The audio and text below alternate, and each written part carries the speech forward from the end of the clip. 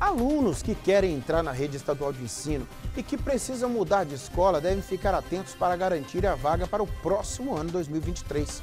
Já estão abertas as inscrições do cadastro escolar para o próximo ano. Fantoni Peço está de volta para falar da educação aí, né, Fantoni? Muito bem, Nicomedes. Termina no próximo dia 30 de novembro o prazo para o cadastramento escolar. Ele é muito importante, Nicomedes, porque ele garante vaga dos alunos para o próximo ano, mas também permite que as escolas, as superintendências e a Secretaria de Estado da Educação façam um dimensionamento, um planejamento sobre os recursos e as necessidades, mas também até mesmo a própria economia a economia das cidades, do estado, é diretamente influenciada por conta desse cadastramento, porque várias atividades são importantes. Quer ver, por exemplo, uma papelaria, uma livraria. Então tem todo esse aparato que depende do cadastramento escolar para saber o que efetivamente é, é necessário para atender os alunos, de, de preferência mais perto da sua casa. O subsecretário de Articulação Educacional, Gustavo Pedroso, tem mais informações.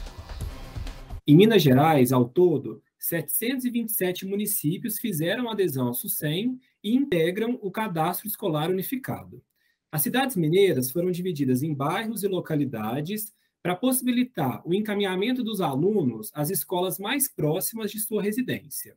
O encaminhamento da matrícula ele é realizado de acordo com a disponibilidade de vaga no turno, considerando o espaço físico da escola, o tipo de atendimento prestado por essa escola e o nível de ensino que essa escola oferta. Deverão se inscrever no SUSEM as crianças que têm seis anos ou que vão completar seis anos até 31 de março de 2023 e que ingressam no primeiro ano do ensino fundamental, os estudantes dos demais cursos, os demais anos de escolaridade, tanto do ensino fundamental quanto do ensino médio, vindos de outra localidade ou de outra rede de ensino. Os alunos que já estudam também na rede pública, mas precisam mudar de escola, também são público-alvo do SUSEM. Aqueles que pretendem retornar à modalidade de educação, retornar aos estudos na modalidade de educação de jovens e adultos, a EJA, também podem se cadastrar. Também é público-alvo do SUSEM os estudantes da nossa rede que não fizeram renovação de matrícula e aqueles que desejam ingressar em algum dos cursos de educação profissional ofertados pelo governo do estado de Minas. Muito bem, Nicomedes, vale relembrar e ressaltar que tudo pode ser feito até mesmo por um telefone celular.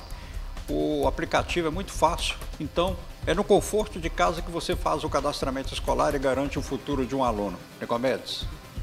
É, entendido o recado aí, Fantônio. Fantônio, na hora que você mostrou o celular aí que pode ser feito no aplicativo, mostrou a fotinha da sua netinha, você quis fazer um merchanzinho para ela aí, não foi? Fala sério. Não, não, porque eu tinha mostrado.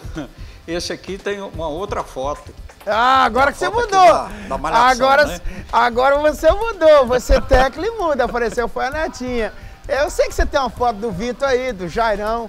A próxima vez que você entrar ao vivo, você mostra uma foto do Jairão também, da equipe, né? Para você fazer uma propaganda para nós aí. Eu, Fantônio, você tem sido muito cumprimentado aqui pela audiência, tá? Que manda abraço. Sempre falam de você aqui, viu? Às vezes eu não Obrigado. tenho tempo de transmitir Obrigado. esse carinho. Eu sei que o carinho que eu tenho aí no Nordeste de Minas, no Jequitinhonha, no, Mucuri, passa muito pelo seu trabalho e pelo trabalho do Vitor Cui, viu? Então, quando você é, ouvir alguém de Teoflotone me elogiando, saiba que isso tem a ver com você, viu? Beijo no seu coração. Tamo junto. Obrigado, Incomedes.